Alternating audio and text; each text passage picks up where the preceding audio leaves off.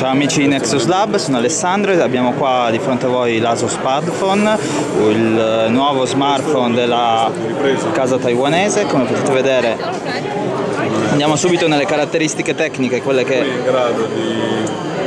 ci interessano sin dall'inizio, abbiamo Android Ice Cream Sandwich 4.0.4, eh, visibilmente non è molto cambiato a livello di interfaccia rispetto all'interfaccia stock, però abbiamo diversi elementi eh, distintivi. Eh, a, livello a, livello strutturale l'Asus Padphone è piuttosto leggero, siamo sui 130 grammi, eh, non abbiamo mh, mm, elementi metallici, però forse questi elementi metallici nella cornice eh, sono simulati da uh, delle plastiche molto ben eh, fatto.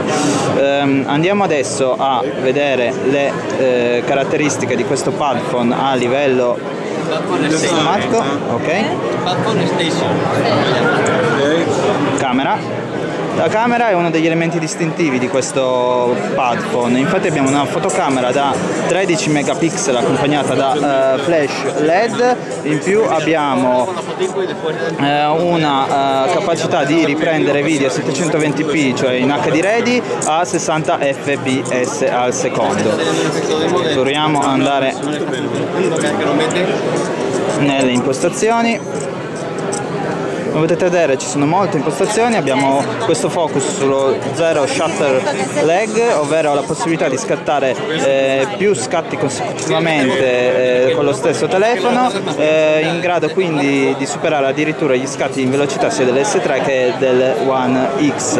Abbiamo un processore quad Cortex A15 classe 1.5 GHz di frequenza e 2 GB di RAM. Eh, questa è la station cambiata rispetto alla precedente precedente, come possiamo vedere facciamo uno switch automatico come succedeva già nello scorso uh, station, proviamo ad aprire un'immagine.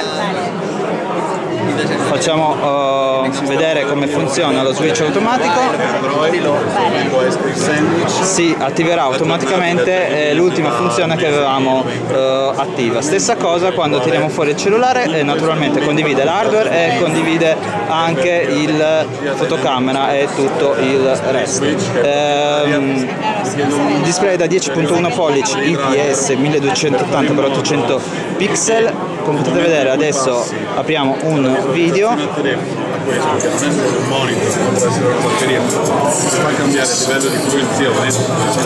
audio piuttosto buono come appunto in conferenza ci è stato detto anche se adesso siamo abbastanza eh, con problemi di eh, rumore quindi non possiamo confermarvi la bontà.